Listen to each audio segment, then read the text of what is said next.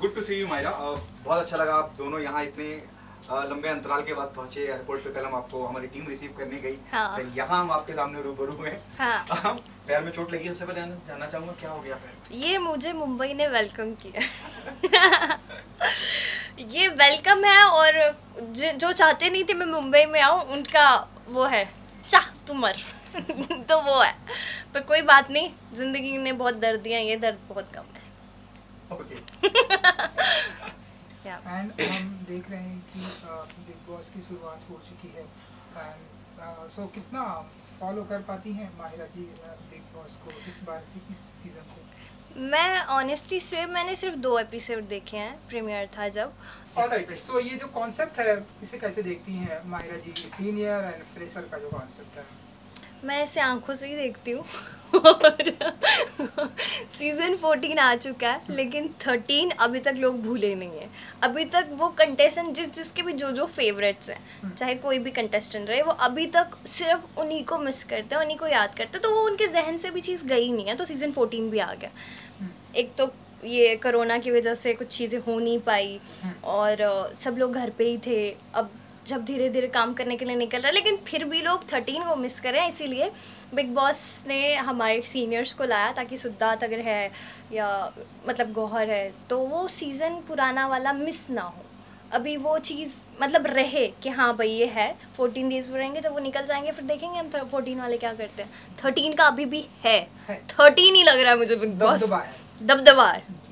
सो आप मानते हैं कि ये जो सीनियर्स हैं इन्हें अब जल्दी घर से जाना चाहिए जिससे जो फ्रेशर हैं, वो अपने रियल अवतार में आ सके, अंदाज में आ सके। पता क्या है? अगर सीनियर्स चले भी जाएँगे तो उससे कोई फ़र्क नहीं पड़ेगा। जिस जिस, जिसने अपने आप को दिखाना है, वो दिखा रहे हैं अभी भी।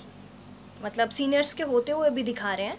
और अगर सीनियर्स चले जाएँगे, जो अभी तक नहीं दिखा पाए, वो तब क्या दिखा देंगे? अब तो इतने दिन हो गए मतलब आई थिंक वन वीक चला गया। तो वो जो जिन कंटेस्टेंट में है, वो दिख रहे हैं अभी भी।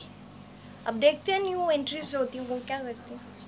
तो ऑलराइट एंड जितने भी कंटेस्टेंट हैं, उनमें से अगर मैं बात करूँ कि आपका सबसे फेवरेट कौन है, या आप मानती हैं कि हाँ ये लास्ट तक जाने वाले हो सकता है ये विनर भी हो जाए। आपके अनुसार माहिरा के अनुसार? मैं अ, मैंने सिर्फ़ दो एपिसोड देखे और दो एपिसोड में किसी को जज करके नहीं मैं बोल सकती कि हाँ भाई ये जीतेगा। बट मुझे पर्सनली अगर कोई मुझे देख के थोड़ा मतलब अच्छी लगी कि हाँ भाई तो मुझे जैस्मिन पसंद आई।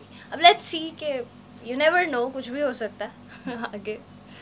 हाँ। एंड अब नॉमिनेशन की प्रक्रिया भी धीरे धीरे चालू होने की अब आने वाली है। सो आप बताइए कि आपके अनुसार सबसे पहले बिग बॉस के घर से किसे आउट होना चाहिए या हाँ ये बहुत बड़ा स्टेटमेंट होगा मेरी तरफ़ से देना क्योंकि मैंने दो ही एपिसोड देखे तो मुझे पता नहीं है कि कौन ज़्यादा अच्छा कर रहा है और कौन कम अच्छा कर रहा है। तो मैं ये बोल नहीं सकती। अब जो डिज़र्व करता वो रहेगा जो नहीं करता उसको निकाल देंगे और। ओके जब हमने आपको बिग बॉस के घर में देखा तो एक अलग ही अंदाज था। हम्म। इस बार तो ऐसा लग रहा है कि लोग इसे इंस्ट्रक्शन फॉलो कर रहे हाँ, हैं। ये करना है ऐसा नहीं करना लेकिन आप लोग थे रूल्स को बनाते थे। Right right. ये इसके बारे में कुछ कहना चाहेंगे आप? अ, मुझे ना पता क्या लगता है? जैसे पिछले सीज़न थे वो भी अच्छे रहे हैं लेकिन हाँ। हमारा सीज़न सबसे हिट रहा है। तो हम लोगों ने किसी को कॉपी नहीं किया, या हमने ये ट्राई नहीं किया कि हम ये चीज़ करेंगे, हम देख के नहीं गए थे कि हम ये ये ये करेंगे, उसको वो करेंगे।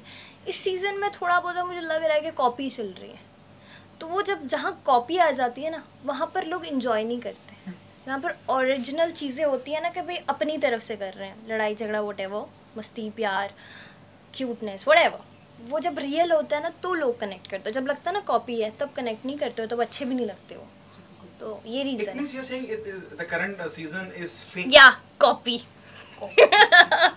साउथ फ़िल्म है हमारी ओरिजिनल ये इंडियन फ़िल्म है copy I am just Uh, kidding हाँ दिल पे मत ले लेना। दिल पे बहुत जल्दी ले लेते हो हम लोग। मायरा क्या मानती है कि बहुत कामयाब रहा? मैं- जब मैं व्यूअरशिप हाँ। की बात भी करता हूँ no? One of the most successful Yes, Bigg Boss का इतिहास रहा है हाँ तेरह की जब हम बात करते हैं। क्या आपको लगता है कि ये मार्क वो लोग छू पाएँगे जिस तरह से उन्होंने शुरुआत की है? बहुत यू नो जैसे आप कह रहे हैं और जैसे लोग ऑडियंस को भी समझ में आ रहा है। लोग बड़ा प्लान करके आए हैं कि जी ऐसा करेंगे। प्लानिंग तो नहीं होती ना जब नहीं नहीं. बिग बॉस में आते हैं। नेवर नेवर तो इस तरह से क्या ये मार्क अचीव कर पाएँगे या क्या तोड़ पाएँगे वो रिकॉर्ड जो आप लोगों ने बिल्कुल नहीं मैं पहले ही बोल दूँ नहीं इस पे जिसको जो बोलना है बोलते रहे क्योंकि नहीं हो पाएगा।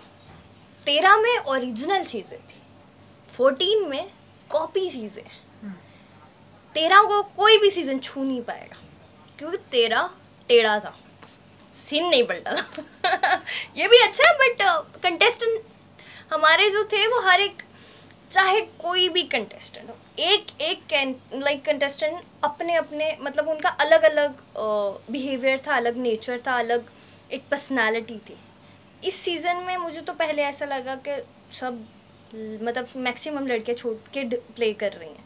लाइक हाँ नहीं, वो मुझे पता है हमने देखा है उन्हें वो ऐसे नहीं है। फिर धीरे धीरे करके अब सबकी पर्सनालिटी नज़र आ रही है। अब जब वो अपनी पर्सनालिटी में रहेंगे ना तो अच्छा लगेगा हमें देखने को। कॉपी ना करेंगे तो मस्त जाएगा ये season may be for the best Mahira ji को देखेंगे वाइल्ड कार्ड के ज़रिए या as an guest as a senior you know you never know senior maybe I don't know yet okay what else is there in the pipeline apart from this pipeline में अब अभी तो हैं अच्छी चीज़ें हैं। अभी तो मेरे काफ़ी म्यूज़िक वीडियोस जो आने वाले हैं। And I am very happy कि जो मेरा अभी दो तीन दिन पहले ही सॉन्ग आया वो Response भी very good. हाँ ट्रेंडिंग वन पे और दो दिन में टेन मिलियन क्रॉस हो चुका है। और आगे भी काफ़ी सॉन्ग्स है और वेब सीरीज़ भी है और एक फ़िल्म भी है जो नेक्स्ट ईयर में भी so hope for the best Salman ji के बारे में मैंने दो ही एपिसोड देखे हैं।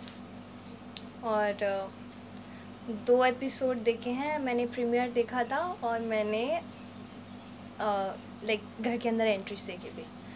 तो अच्छा था और उसके बाद जो मैंने देखा वो घर के अंदर सब कंटेस्टेंट थे तो उन्हीं पे था। मैंने वीकेंड का वार देखा नहीं तो मुझे इतना ज़्यादा पता नहीं। लेकिन ठीक है उनका शो है होस्ट है अच्छे से कर रहे हैं जैसे करते थे। Thank you thank you. Thank you so much thank you